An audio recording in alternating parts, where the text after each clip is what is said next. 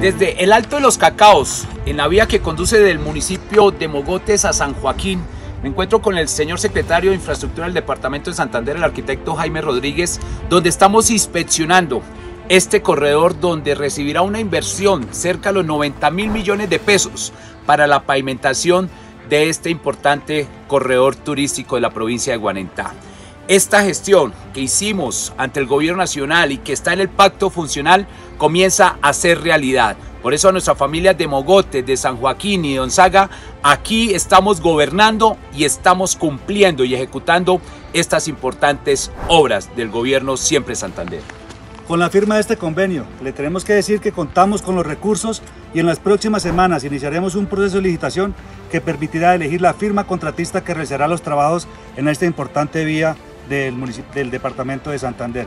Una vía de carácter nacional que une dos troncales nacionales como es la troncal nacional central y la troncal central del norte. Una vía muy importante para el desarrollo del departamento y del país. Este es el gobierno siempre Santander, gobernando y ejecutando en los territorios. Abriendo caminos hacia el progreso.